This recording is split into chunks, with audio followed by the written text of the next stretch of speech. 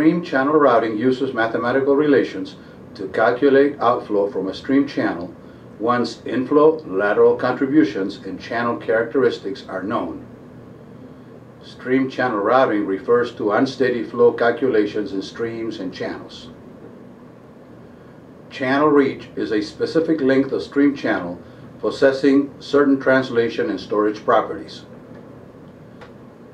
The hydrograph at the upstream end of the reach is the inflow hydrograph.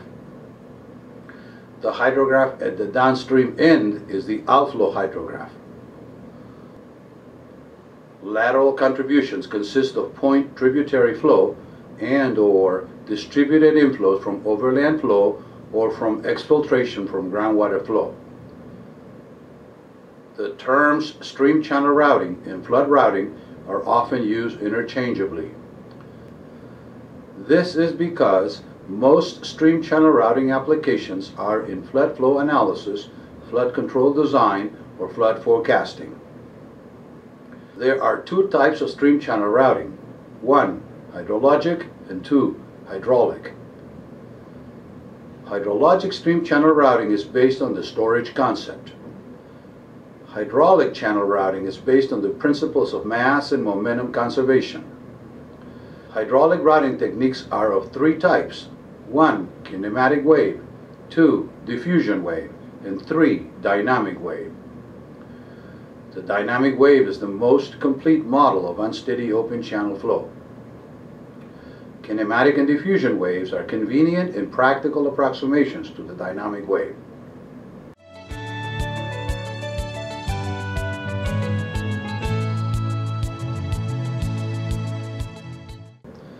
A typical hydrologic model consists of 1. System 2. Input and 3. Output. In surface water hydrology, the system is usually a catchment, a reservoir, or a stream channel. In the case of a catchment, the input is a storm hydrograph. For reservoirs and channels, the input is an inflow hydrograph. For all three cases, catchments, reservoirs, and channels, the output is an outflow hydrograph. Modeling problems are classified into three types. One, prediction. Two, calibration. And three, inversion.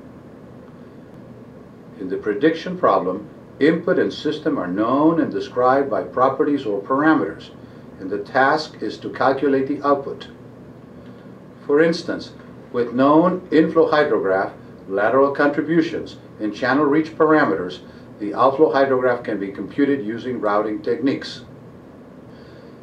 In the calibration problem, inflow and outflow are known, and the objective is to determine the properties or parameters describing the system.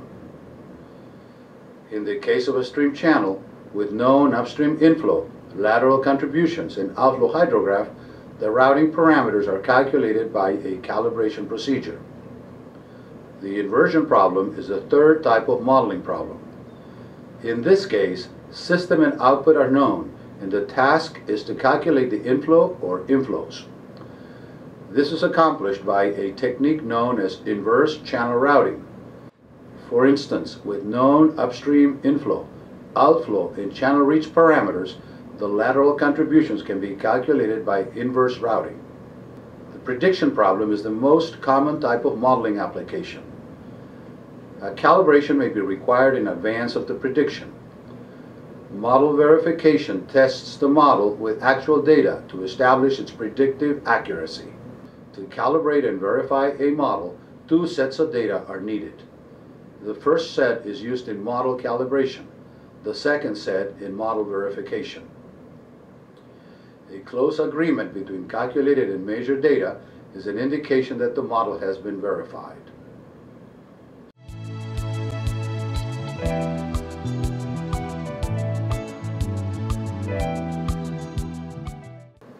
The Muskingum method of flood routing was developed in the 1930s in connection with the design of flood control schemes in the Muskingum River Basin, Ohio. It is the most widely used method of hydrologic stream channel routing with numerous applications in the United States and throughout the world. The method is based on the differential equation of storage.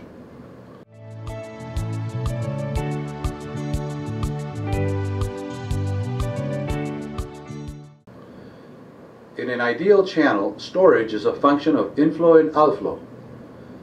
This is in contrast with ideal reservoirs, in which storage is solely a function of outflow. In the Muskingum method, storage is a linear function of inflow and outflow.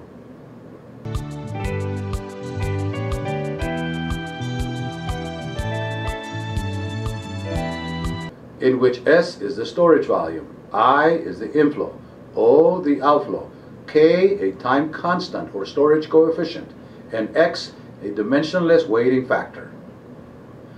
With inflow and outflow in cubic meters per second and K in hours, storage volume is in cubic meters per second hour.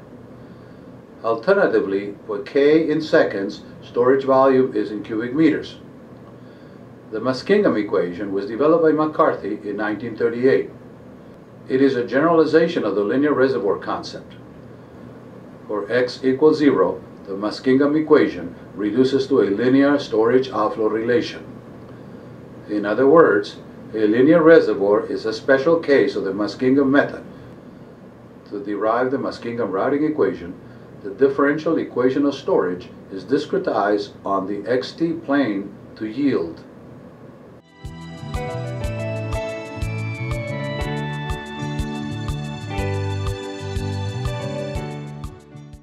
delta t is the time interval. The storage equation is expressed at time levels 1 and 2.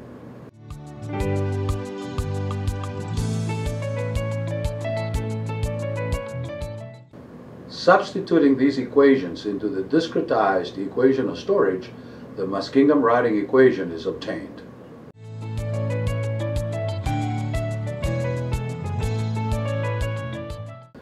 In which C sub 0, C sub 1, and C sub 2 are routing coefficients defined in terms of delta t, k, and x as follows.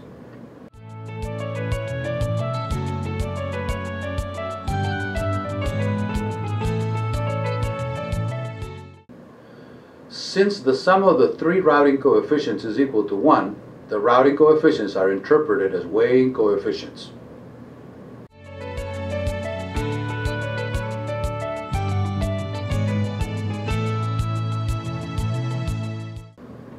Muskingum method will calculate an outflow hydrograph given an inflow hydrograph, an initial condition, and the routing parameters k and x. At the start, a time interval delta t is chosen. Using the chosen time interval, the temporal domain is divided into time steps and the inflow hydrograph is discretized into corresponding values at every time step. The chosen time interval should be small enough so that the actual inflow hydrograph is properly represented by the discrete values. For this purpose, the time interval should be at least one-tenth of the time to peak of the inflow hydrograph. The methodology consists of the following steps. 1. Calculate the routing coefficients based on delta t, k, and x. 2.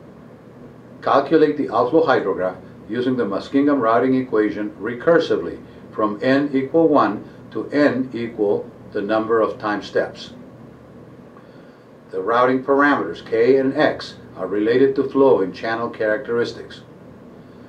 K is interpreted as the travel time of the flood wave from upstream end to downstream end of the channel reach. Therefore, the parameter K accounts for the translation portion of the routing, as shown here. Conversely, the parameter x accounts for the storage portion of the routing. For a given flood event, there is a value of x for which the storage in the calculated outflow hydrograph matches that of the measured outflow hydrograph. The effect of storage is to reduce the peak flow and to spread the hydrograph in time. Therefore, it is often used interchangeably with the terms diffusion and peak attenuation. The parameter K is a function of channel reach length and flood wave speed. The parameter X is a function of the flow and channel characteristics that produce runoff diffusion. In the Muskingum method, X is interpreted as a weighting factor and restricted in the range 0 to 0.5. values of x greater than 0.5 produce hydrograph amplification, that is, negative diffusion, which does not correspond with reality. With delta t equal k and x equal 0.5, flow conditions are such that the outflow hydrograph retains the same shape as the inflow hydrograph, but it is translated downstream at time equal to k. For x equals 0, the Muskingum method reduces to linear reservoir routing. In the Muskingum method, the routing parameters k and x are determined by calibration using streamflow records. Simultaneous inflow-outflow discharge measurements for a given channel reach are coupled with a trial and error procedure leading to the determination of k and x. However, strictly speaking, the values of k and x determined in this way are valid only for the given reach and flood event used in the calibration. Extrapolation to other reaches or to other flood events within the same reach, while practical, is generally unwarranted. When sufficient data is available, a calibration can be performed within the same reach for several flood events of different magnitude to cover a wide range of flood stages. In this way, the variation of K and X as a function of flood level can be approximately ascertained. In practice, K is more sensitive to flood level than X. A sketch of the variation of travel time K with stage and discharge is shown here. In a typical channel cross-section featuring a wide range of flow levels, the travel time tends to decrease with an increase in in-bank flow, increase with an increase in overbank flow stages, and again, decrease with an increase in very high flood stages.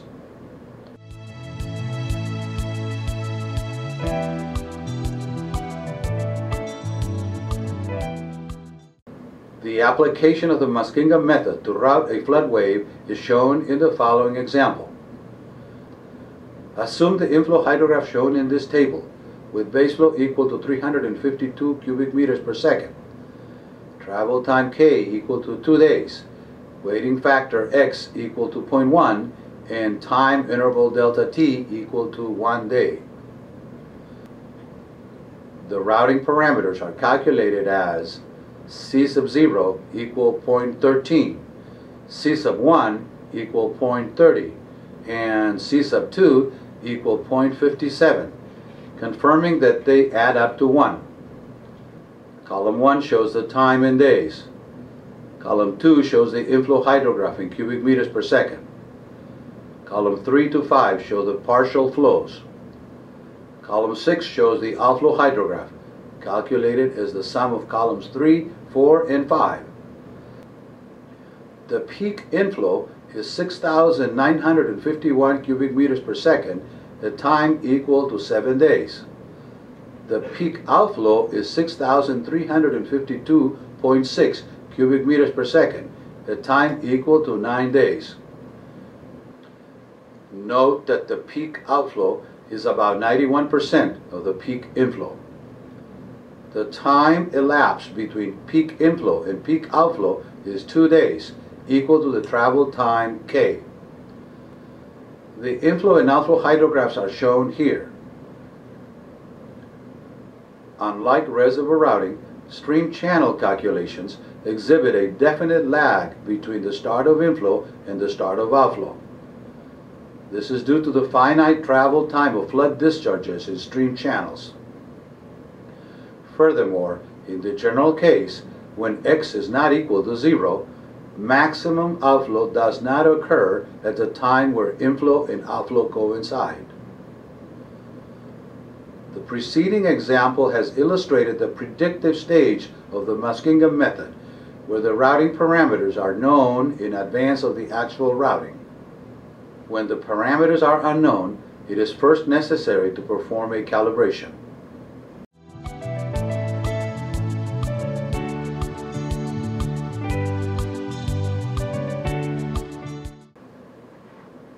Perform a calibration, the Muskingum method requires both inflow and outflow hydrographs. Essentially, the calibration identifies the routing parameters. That is, it is a system identification. To perform the calibration, the discretized differential equation of storage is expressed as follows.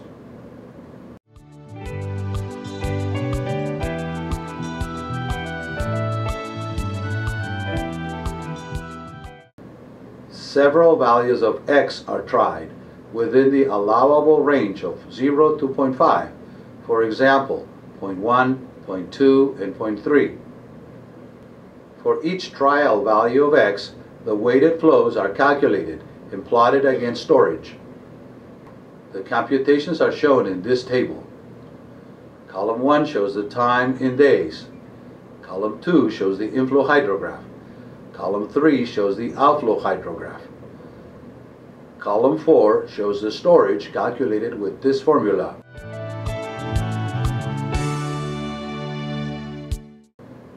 Columns 5 to 7 show the weighted flows for x equal 0.1, 0.2, and 0.3, respectively, calculated at level n plus 1.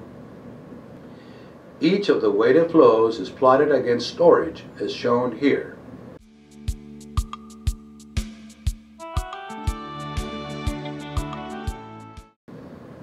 Correct value of x is that for which the storage versus weighted flow data plots closest to a straight line. In this case, x equal 0.1 is the correct value. The value of k is the slope of the storage versus weighted flow line. In this case, k is equal to 2 days.